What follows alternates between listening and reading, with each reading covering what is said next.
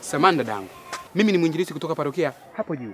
Kwa hiyo Sisi wanaparokia waga tufikiaga umri kama huu, ni lazima tupate mwanamke wa kuoa. kwa hiyo Mimi unavyoniona hapa, sijui kabisa kutongoza. Yaani wewe hujui kutongoza? Sio kutongoza tu dadangu, niko simu.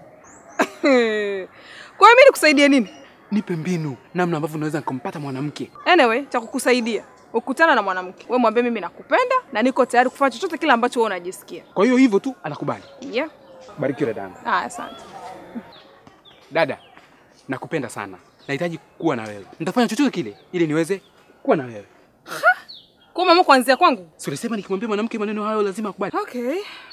Piga magoti. Eh? Piga magoti.